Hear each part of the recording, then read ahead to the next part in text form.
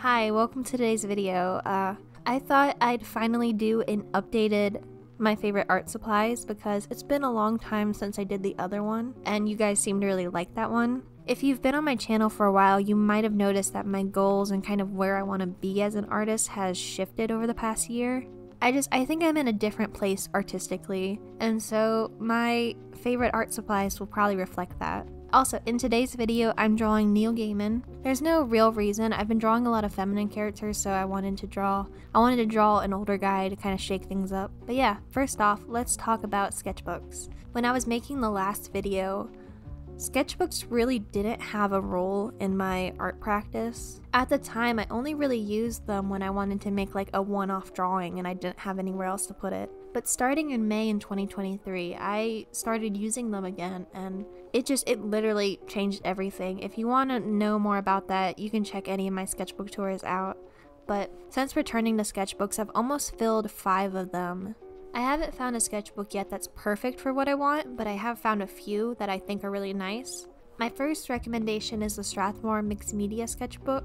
I believe this is series 2 and the paper is really nice. It's got like a little bit of a tooth to it, and the size is great, but it's a little pricey. It's like $25 for only 64 pages, which I get happens when you have nicer paper, but I fill sketchbooks so quickly I can't be spending $25 each time. But I think if you wanted a book to make nicer finished pieces in, I think this would be a really good option.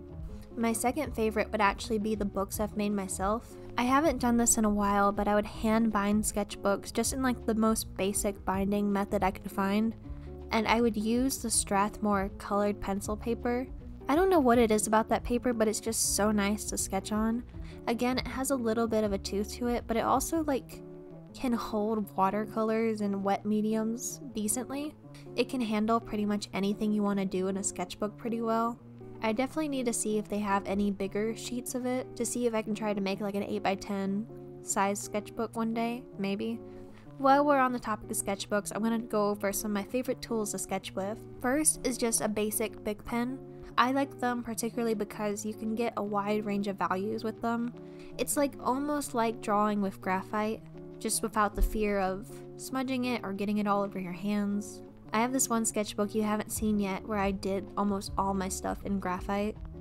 And so when you open it, even with like, I tried hairspray, I tried fixative, but if you open it up now, the drawings are barely there. So that's why I don't really use graphite that much. And ballpoint pens are waterproof, so you can add a little bit of watercolor to them if you want. Next are the Prismacolor Col-Erase colored pencils. As you can tell by the name, they're colored pencils you can erase with. I use these a lot in my videos, I get a couple questions on them, so they erase pretty well, not perfectly, but most erasable things don't erase all the way either. There's a pretty wide range of colors, and I use these when I want to do more detailed work in my sketchbooks. Next, this is kind of new. I got it for Christmas from one of my friends, but it's the Uniball Signo DX.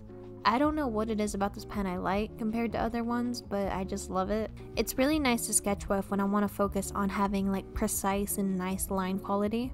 In my sketchbooks, I also really love to do these warm-ups with just a brush and ink. I just use the Dr. Ph. Martin's Bombay India ink. I haven't tried many ink brands. I used a different one that was water-based and I didn't like it as much, so that's why I stick to this one. This is my Speedball fountain pen. I got it for Inktober last year and I'm still not very good with it yet. I really enjoy the variety of the line weight you can get with this. I mainly use it when I'm warming up or I'm doing like life drawing. It's just, it's fun to go fast and I feel like it helps me see the form of whatever I'm drawing better. For inking, which I don't do too often, but I really like these Kuretake pens that I received from a Zenpop box. The variety and line weight you can achieve is just really nice. When I'm not working in my sketchbook, my favorite way to make art is in Procreate on my iPad Pro. My favorite brushes are Gouache-ish by Cryptozoology and Matt's painting set by Mateusz Urbanowicz. I use that Matt's painting set for like 90% of what I do. Specifically, the Add Line Detail brush. It's so nice. Another new art supply I've gotten into is the Himi Jelly Gouache. I used to hate gouache for the longest time, I just I didn't understand it, but there's a few artists I follow online that just make the coolest stuff with it. So I really wanted to try it out again. I'm not all that great yet, but The variety of colors in the set is so nice, and it doesn't hurt that it comes in a cute case. I don't use watercolors that much anymore, but I have narrowed down my collection into this little Altoids tin. It has the necessities, although my ultramarine is running low. These are all Qor watercolors, which are my favorite brand. It's a lot easier to get out this little tin rather than get out my giant set, but I still use that if I'm doing something more involved. And I don't do too much oil painting much anymore, so my setup has kind of stayed the same.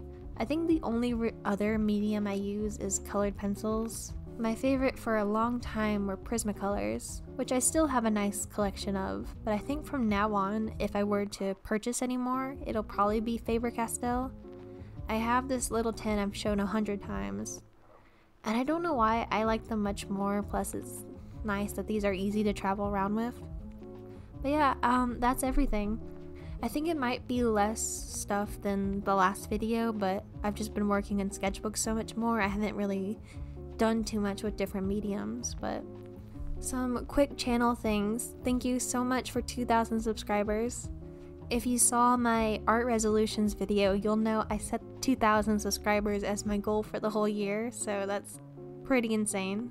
I'm just, I'm so blown away and really grateful for all your support and all the comments you guys leave and just everything. It's very cool, so thank you.